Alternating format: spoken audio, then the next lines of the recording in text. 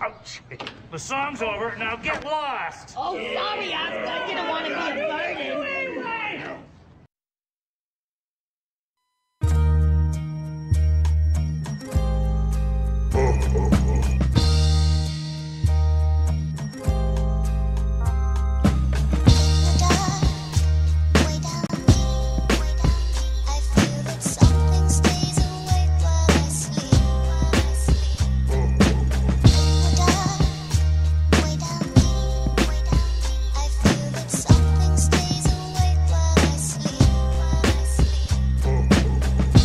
Bed, snuggled in for the ride. It's so dark, wish there was more light outside to peer through the window, brighten up the box that's full of his friends, yo, so they could get in protect mode to save him from the monster under the bed. Oh, there's one in the closet that's messing with his best clothes. He hid under the blankets with his flashlight to scare the monster off, but the batteries died last night.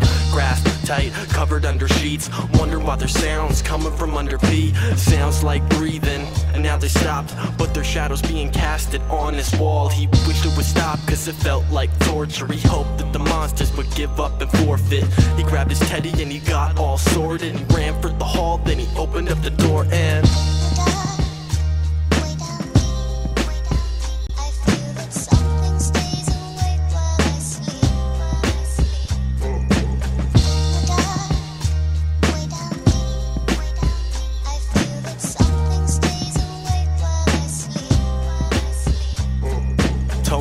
About the monsters, she didn't believe me. Tucked me back in bed and said you should be sleepy. Closed the door and the floor got creaky and got scared and thought more monsters could see me. Underneath sheets, please, where things are safer. Had a dead flashlight and a makeshift laser. Fight the monsters only seemed to make sense, but he couldn't muster the courage to pull the covers from over his head. Seemed like the room got colder instead. Holding his Ted, he wondered where his mom's be. She was two rooms over, gone to sleep. He pondered why the monsters keep haunting me. Finally got to sleep when he seen the light through the blinds and knew he survived and the monsters would be quiet. But they'd wait for him in the shadows till the very next night, kid. The very next night, kid.